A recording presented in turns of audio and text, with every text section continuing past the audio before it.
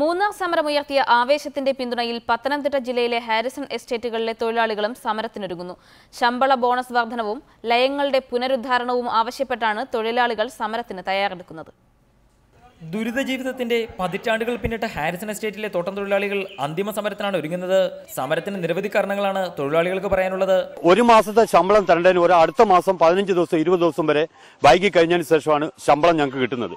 അടുത്തുള്ള പലർക്കടെ തന്നെ പോയി സാധനങ്ങൾ ചോദിച്ചാൽ പോലും ഞങ്ങൾ ഇത് ചോദിക്കുമ്പോൾ അവർക്ക് കടം തരാൻ ബുദ്ധിമുട്ടുണ്ട്. അടിസ്ഥാന ശമ്പളവും ബോണസും വെട്ടിക്കുറച്ച മാനേജ്മെന്റ് നടപടികൾ തൊഴിലാളികളുടെ ജീവിതം ദുസ്സഹമാക്കിയിരിക്കുകയാണ്.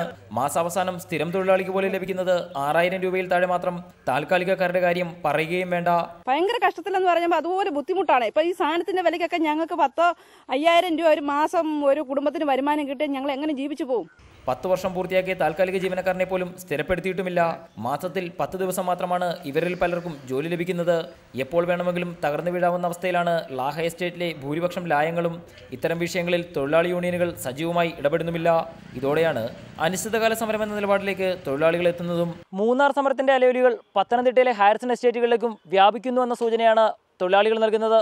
ന്യായമായ അവകാശങ്ങൾ അംഗീകരിക്കാൻ മാനേജ്മെന്റ് തയ്യാറായില്ലെങ്കിൽ വരും ദിവസങ്ങളിൽ സമരവുമായി രംഗത്തിറങ്ങാനാണ് തൊഴിലാളികളുടെ തീരുമാനം. ക്യാമറമാൻ ഷമീർ പത്തനാപുരത്തിനൊപ്പം എസ് ശ്യാംകുമാർ റിപ്പോർട്ടർ പത്തനംതിട്ട.